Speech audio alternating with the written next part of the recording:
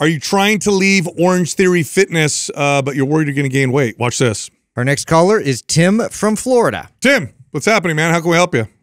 Hey, what's going on, guys? As always, uh, wow, this is a lot more intimidating than I thought it would be. As everybody always. I won't put that on you.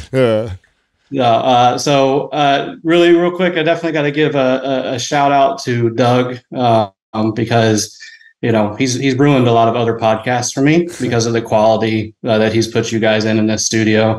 Uh, and uh, to one of my former coaches, Katie Butler, a couple of you guys might know her. Uh, she's my former OTF coach, but she turned me on to you guys uh, about a year ago. I actually listened to started listening to one of the episodes. I was looking for a health and fitness podcast and started listening. I was like, man, uh, what's going on here? I don't really know what this format is. I was expecting, you know, advice and all this stuff. And uh, so I kind of like I stepped away from it. And she's like, no, no, no, no. She's like, give it a chance. Like, check it out, listen. And uh, I've been, I probably haven't missed an episode in about a year now. So That's uh, really appreciate it. So um, I'll dive into some background. So uh, in about 2012, 2013, I actually worked at uh, a big box gym for a little while.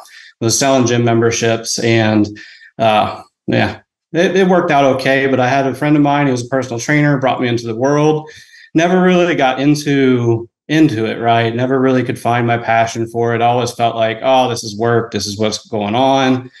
So I left that in about 2015. I got into to tech sales and then I into actually IT support and kind of got a little heavy. And um, right before I moved to Florida in 2016, I got up to about 240 pounds and uh, was having to go to the bathroom a lot and was like, man, why is my why is vision blurry and everything? Well, went to the doctor and they they checked my blood sugar and I was off the charts, right? So they sent me to the hospital. They pumped me full of IVs and then they put me on metformin for a while. Uh, I lost about uh, 30 pounds just by changing diet and just kind of walking and everything. Still never really found my fitness lifestyle, but as as everybody else always a lot of times does, I yo-yo dieted, right? I tried low carb, I tried all this, tried that, and I, and I gained some of it back. And um, I, I kind of got defeated. I got lazy, and um, finally got to a point where I was starting to try again. And I was just walking. I was just been really crash dieting again. And my girlfriend decided to try to get me to try OTF, and I was like, sure, I'll give it a try. I went in there first day and it kicked my butt, right? I barely could even run on the treadmill and uh, fell in love, signed up, did like two days a week first when I first started the membership. And then I probably got three classes in and I went unlimited. Well, I think that turned into uh, really just overdoing it for myself because I really loved workouts. I loved being able to, to not have to go into a big box gym and be intimidated and go through and understand like oh i got to wait on equipment i don't know what i'm really doing i kind of have a background i kind of i think i can deadlift i think i can do this stuff but the equipment's always there and they had benchmarks right? It was easy for me to, to go but really what that turned into is just really me finding out that i really just enjoyed kicking my ass right? Um, so transform- transformation challenge came one year and uh, i was like all right i'm gonna do this and i did it but I, I, you know, as you guys always said, I did it in the wrong way, right? All I did was crash diet. And by the time I was done with the transformation challenge, I had lost probably a good 15 to 20 pounds. But I did the InBody scan and I basically either barely gained any muscle or lost it all. And I really came to the realization then that it was like, this didn't work, man. I didn't get, I didn't feel like I got stronger. I was weak. I was whatever.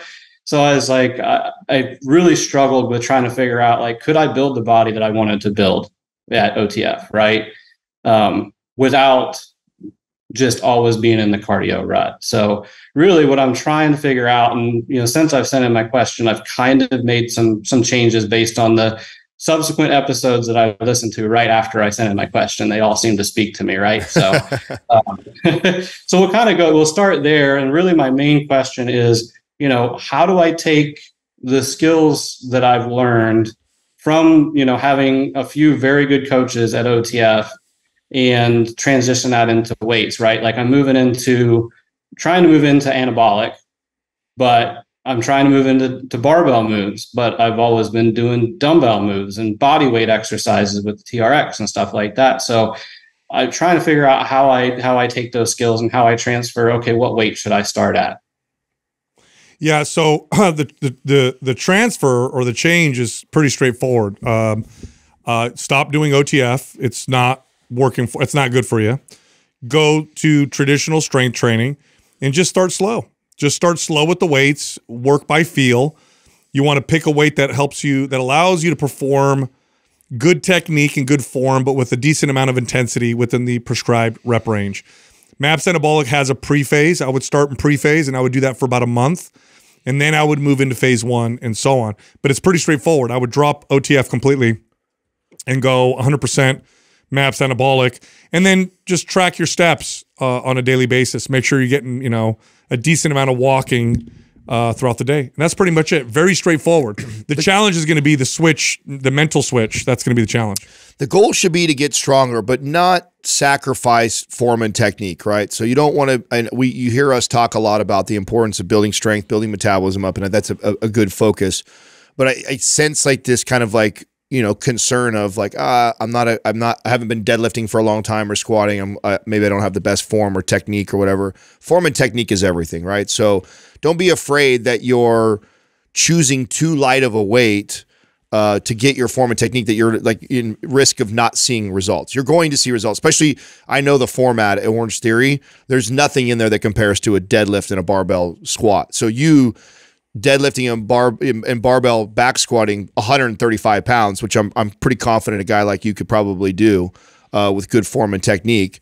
Even that amount of weight is significantly different than anything you did at Orange Theory. Mm -hmm. Orange Theory is a, a, rack of dumbbells that stop at like what 30 or oh no, they have the bigger dumbbells that you can use for some of the exercises, but you're not doing any big leg movements with anything more than at best 100 pounds, right? There, everything is under that pretty much, and body weight stuff and suspension trainer you're going to see great benefit from just barbell back squatting and deadlifting and doing it real light. Go light, go light and get the technique down until you feel really comfortable and confident and then slowly start to build on that and trusting the process. Eating eh, hit your protein intake. That should be a major focus of you over all things nutritionally is eat whole foods hit my protein intake every day consistently not every once in a while or only when you work out. Every single day hit that and uh, be mindful of the, the, calories you consume. But I think just doing that, you're going to see a huge change. Yeah, I I honestly don't think there's anything wrong too with just focusing on those big core lifts. To his point, in terms of like the mechanics of it, learning, it's a completely new skill.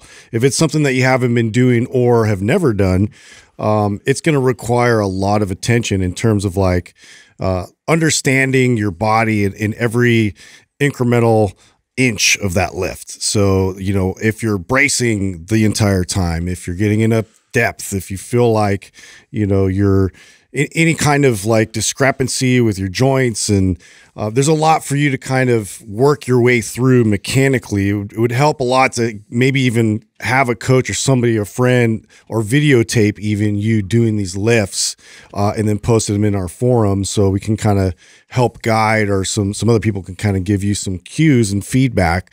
Um, but really like being proficient in those lifts is going to take you so much further uh, you know, in, in, the rest of your pursuits. And I, I love MAPS Anabolic. It does a great job of building muscle and strength. It might be a little bit much in terms of like, you know, learning that new skill, adding a lot of volume on top of that and kind of like moving in that direction. That, that might be a good bridge is like, you know, those five core, like, uh, multi-joint movements, just really hyper focus on those. Yeah, I think I think starting pre-phase, do that for four weeks first. Look, uh, the uh, if I had to label or pick one thing that defines strength training, it wouldn't be weights. It would be rest period. So I want you, because this is going to be hard for you, because you're used to OTF style training.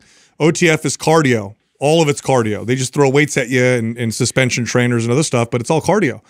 This is going to feel very different. The rest periods are what make this strength training. So you do your set, good form, decent intensity. Don't go to failure, but decent intensity.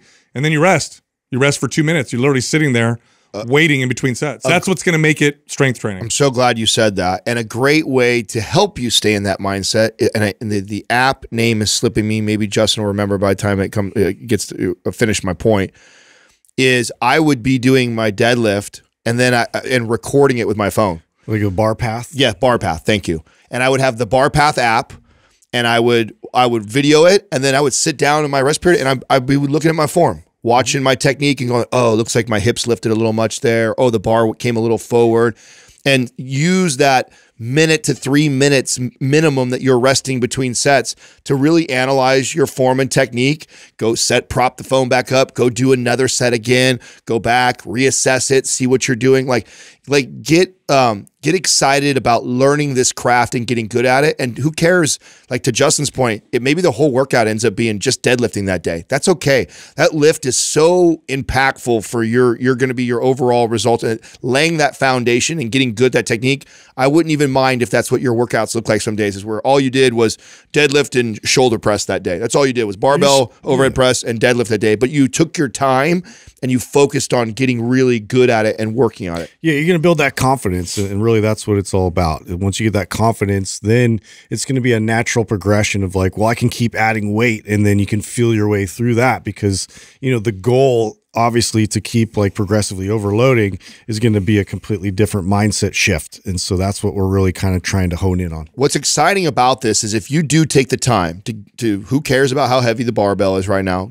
get good at the technique, and you start to go like, okay, this is say the you know 10th time you've deadlifted at the, at the gym and you're like oh okay this is starting to click for me. I can i and then you start stacking the weight on. Watch how watch how fast you get strong and watch how much the gains pile on when you get to that place. But don't rush to get there because along the way we're going to see results you're going to get better but really focus on just getting good at those core lifts that justin's talking about and make that your main focus use anabolic as your your base like this is a good program but don't be afraid to just spend a whole workout wor- focusing on one of the two of those main lifts Yeah, okay. Because I think uh, you know, because part of part of what what I think I caught myself in, because I I did, I kind of said, oh, you know, I've been doing Orange Theory. I kind of know my my way around a little bit. Like maybe I don't need pre-phase. Let me just jump right in, right? So I did, right? I jumped right in, um, you know, to to week one, and you know, the first day.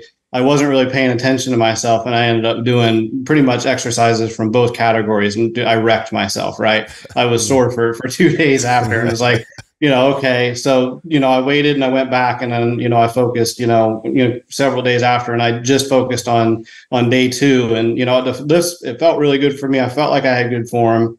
Um, you know, I didn't get pain in anywhere that I shouldn't get pain. Um, but you know, of course, it's always nice to have you know somebody somebody look, but yeah, I think I've got a little bit of ego, right?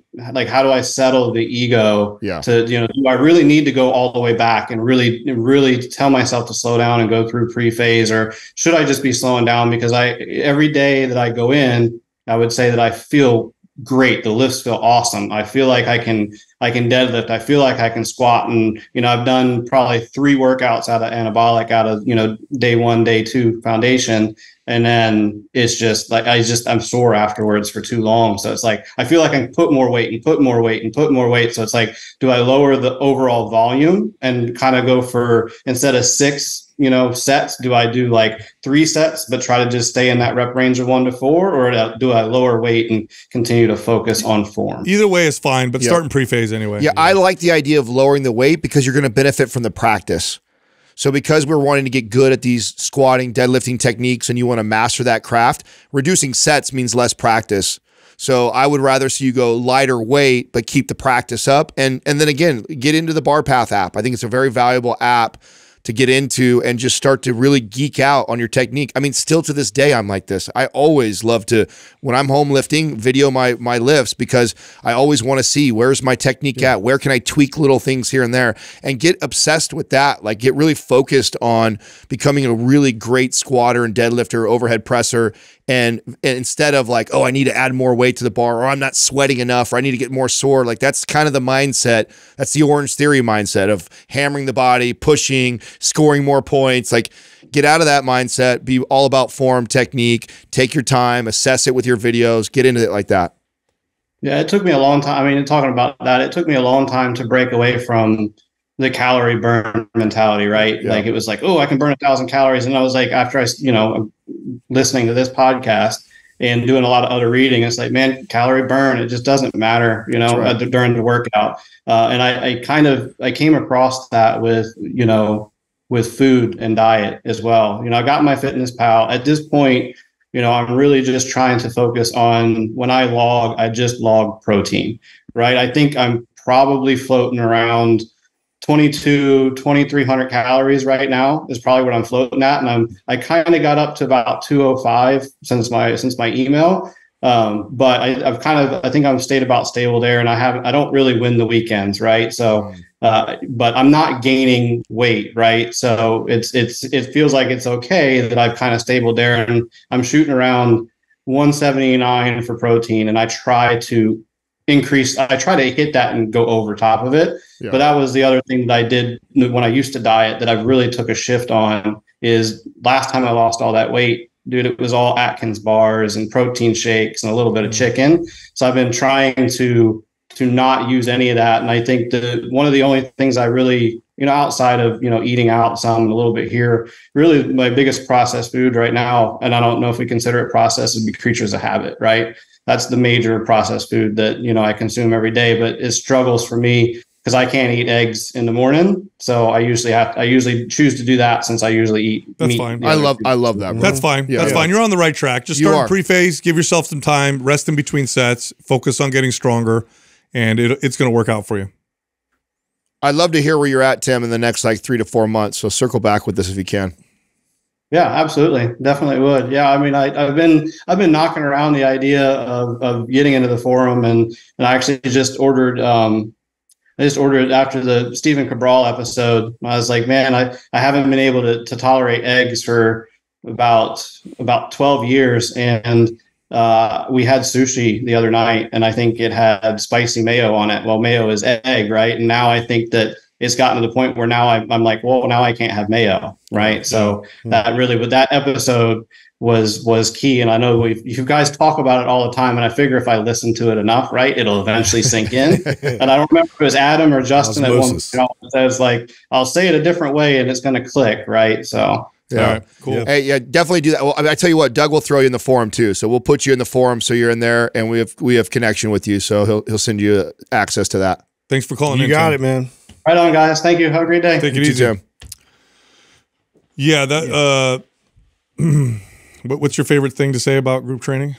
They need to die. It, yeah, it just uh, Well, it just is not. It got him in there, right? It's again, it was Yeah. sort of I mean, a that's stepping the stone. that's the argument. But the transition to go from It's that tough. to traditional strength training, you feel like you're not doing anything. Yeah, no, you weigh it out because now you have to sort of uh, reverse engineer that mentality and completely do a new playbook. Yeah, but it'll Yeah. work. It'll work Yeah. for him. He just has to. It's the mental part that's the, hard. the, the you know the the sad part, the positive thing I have to say about Orange Theory is it's a great business. So it's smart because it gets right. it gets a lot of people. I mean, that's the part that is smart about Orange Theory. The, the the modality of training for most people is just it's just not ideal. You know, the only other person I see like I love like Brendan is a, a person who I think can do it. Right, you're an athlete. You're already in great shape. He doesn't need to change body composition. Doing that kind of athletic training all the time, sure, It's that's kind of fine. maintenance at that point. Yeah, yeah, sure, it's fine. But somebody who's trying to make body composition change, I just it's a terrible strategy. It's mm-hmm. not a long term. It's not a winning strategy. And just because you can show me somebody who has lost a bunch of weight, well, show me that person in three to five years. if the years. value of the workout is how hard it is, there's a problem. That's Yeah. a red flag. right. Yep.